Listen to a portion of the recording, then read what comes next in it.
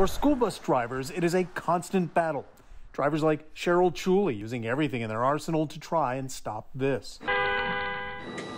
My route in particular this year is running them practically once a day, one car a day. This car just comes right through. Car drivers ignoring stop signs and lights on school buses at bus stops. Uh, stop signs out.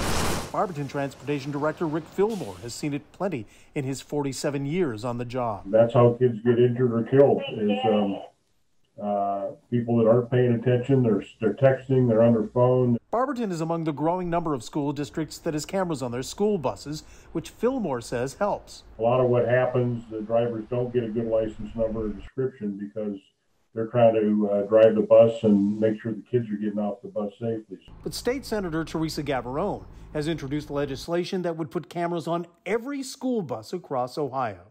They could generate information and if legislation is in place, could issue a civil fine to people who are driving by those school buses where there's not enough information to do a, a criminal prosecution. Gavarone proposing civil penalties of $300 for the owner of a car if the driver cannot be criminally prosecuted. In the states that have done this, they've seen a dramatic, initially, there were a whole lot of tickets being issued, but as time goes on, you could see it really going down. What route are we running? In Medina, Fox 8 was there as police rode school buses in October to drive home the message. But police say the goal is to write zero citations. It wasn't about going out and writing tickets. It was about um, bringing the awareness to it to be a deterrent um, to it. And if additional penalties help drivers to be more aware, Gavarone and others believe they are worth enforcing it's it's safety. It's all about safety. They need to stop for the school buses and they need to stop back behind us, not right beside us.